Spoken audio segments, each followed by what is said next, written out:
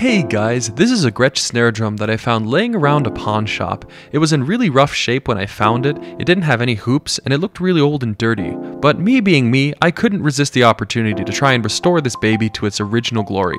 After a little diligent research, I figured out that this most likely is a Gretsch Dixieland student model snare drum from the 1950s. I can't pin the date down for sure, but I do know that this is no older than 1962 because there's no sticker on the inside of the gray lined shell.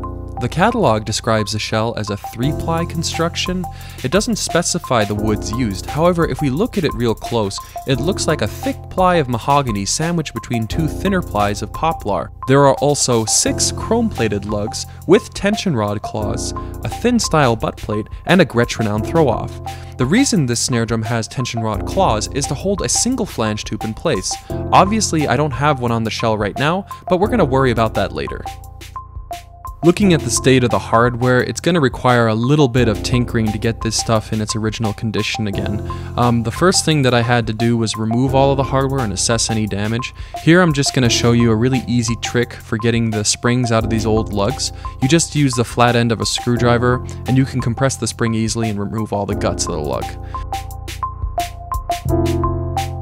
So as you can see, the wrap is very old and dirty. Also, it's coming off of the shell in one of the positions there. So my priority right now is to remove any old glue residue, dust, debris, grime, anything like that, because I'm gonna re-glue the wrap to the shell, and in order to do that, I need to get a good bond, and to get a good bond, I need to have a clean surface to work with.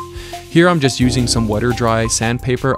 It's not wet, I don't want to introduce any kind of moisture to the shell or the wrap. And then I'm also using a tack cloth to clean up any kind of dust or residue that may be left behind from the sanding. What I'm using is some 3M contact cement and a foam brush. I'm liberally applying that to both the shell and the wrap. Um, because the wood is porous, it will absorb some of your contact cement, so you might have to use more than you'd expect. I'm being very careful not to misalign the wrap in any way as I bring it down here. Now, the reason I'm being so careful is you really only get one shot with contact cement. It bonds instantly upon contact, hence the name. So, the first thing that you do is you line it up perfectly and then you apply pressure to the middle of the shell first and then work your way out. This way, you can prevent any kind of unnecessary air bubbles that might cause misalignment and cosmetically aren't very pretty. So, by using a foam roller, a plastic roller and then rolling the shell upon itself on a soft surface, I was able to get very good adhesion and all the holes lined up.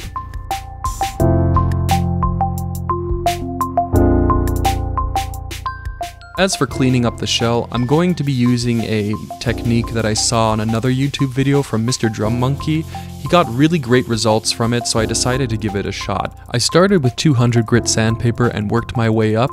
The secret to this technique, as Mr. Drum Monkey says in his video, is to not oversand the shell.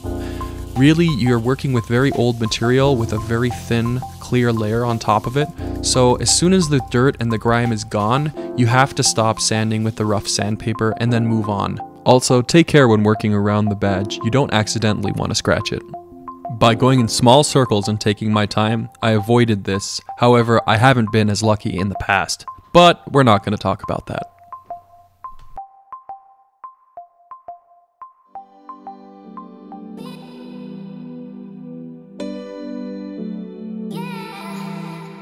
As for the hardware, I've already done a couple days soak in bleach and dish soap solution, but something weird kind of happened. I got this white precipitate on some of the lugs, and not all the rust uh, dissolved either, so I think I'm to have to soak these again. As you can see, some of the pieces turned out fine, others had just residual rust and dirt on them. I don't really know why this happened, it might have something to do with the age of the metal, or it might just be the products that I used.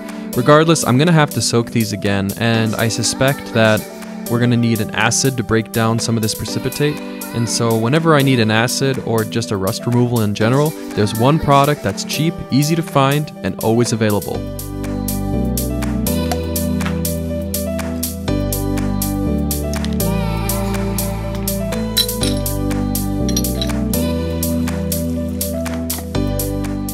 while that all soaks, we're going to continue sanding the shell.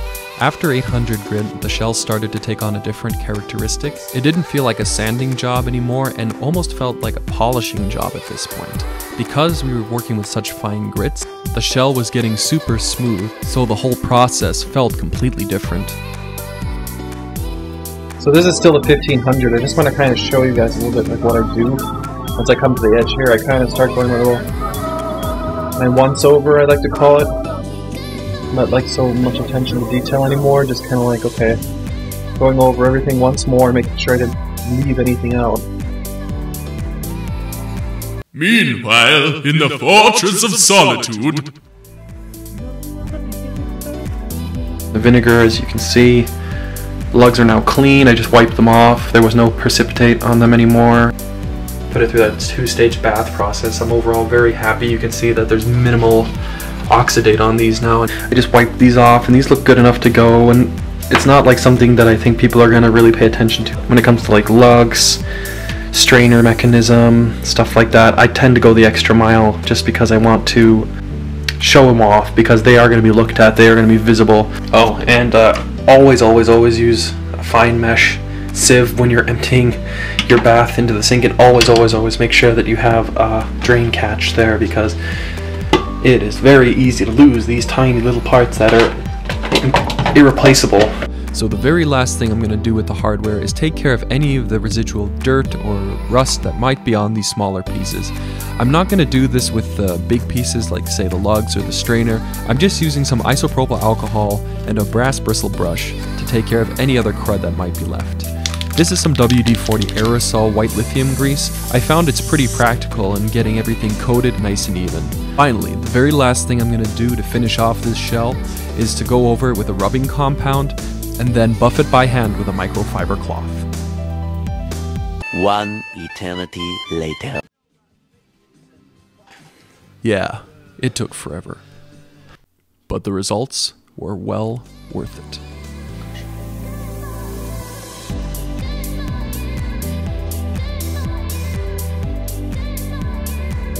So I lied. The very last thing I'm to do is condition the wooden shell. I found over the years, especially living in a harsh climate like I do, that if you forget to acclimatize your instrument, this might very well just save it. The oil penetrates the wood and keeps it moisturized. Now there are some people who say that this is completely unnecessary, but I'm a creature of habit and I'm to stick to my guns. Here I have a cut up old vacuum cleaner filter. I found it's the right consistency and thickness to dampen the lug springs. You may have noticed with other snare drums that if you don't do this, there is a chance that you're going to get a very annoying and uncontrollable ring from your snare drum. So spending the extra 2 seconds while reassembling everything to do this step will save you a lot of aggro later on.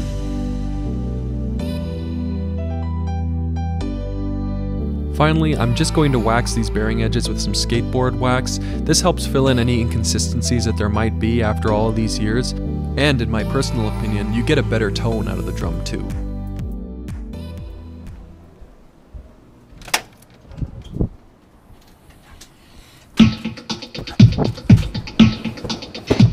So Drum Factory Direct is a great resource for drum parts. I got everything I needed to finish the project, but more importantly, I wanted to talk about their B stock. Sometimes they sell discounted items that may not be cosmetically perfect, but still good, which led to a great deal on some single flange tubes that I couldn't pass up. I actually couldn't see anything wrong with the hoops I bought. Score! Also, I'm putting on some Evans Level 360 heads because the wider collar means I know they'll fit the oversized shell. That's not to say other companies don't have something similar. I know that Aquarian has the American Vintage and Remo has the Classic Fit, and they would have worked just fine too.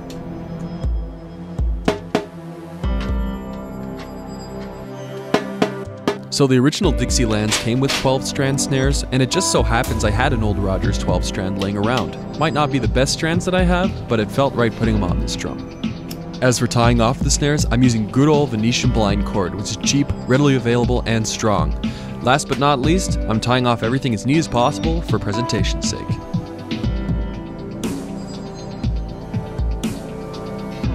So that just about wraps it up for this snare drum. I guess it's time to take it outside and give it a whirl.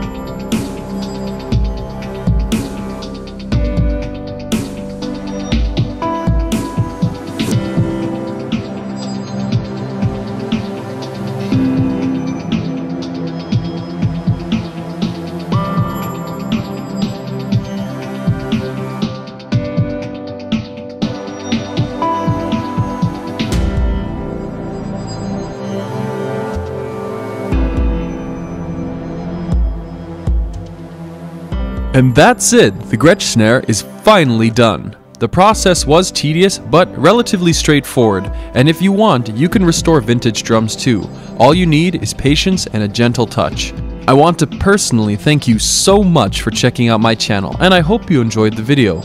If you liked it, please feel free to give me a thumbs up and check out some of my other videos. Or if you just want to leave a comment below and tell me what you thought, I would love to hear from you. If you want to see more drum restoration projects, hit subscribe and you'll be the first to know when I make something new. Well, that's it for me. I'm NuDrums and thank you for watching.